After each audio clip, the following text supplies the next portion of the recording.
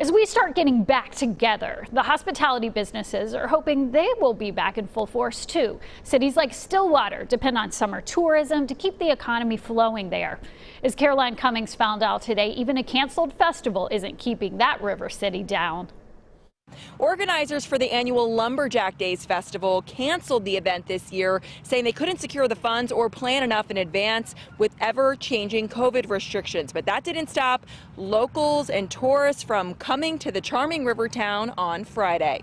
Dozens of people enjoyed the afternoon on the water and visited local businesses along Main Street, restaurants at full capacity and no masks in sight. Sarah Jesperson, who's a local business owner and sits on the tourism board, says Stillwater is bouncing back stronger than ever after weathering shutdowns and restrictions for more than a year. She says that resiliency is because of the loyalty of the community who stepped up and supported each other through trying times. You would think that we'd all be trying to compete for the same people, and there's so few people at that time, but instead there were moments that they're like, here, you use my table if you can open. And there was this huge sense of we were all in it together.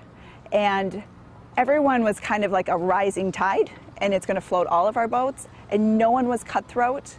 I would say it brought out the best in our like local humanity. Now that life is beginning to look more like normal, one thing we've heard over and over again from businesses is that they're hiring and it's a lot harder to find people to fill those jobs than it used to be. In Stillwater, Caroline Cummings, WCCO 4 News.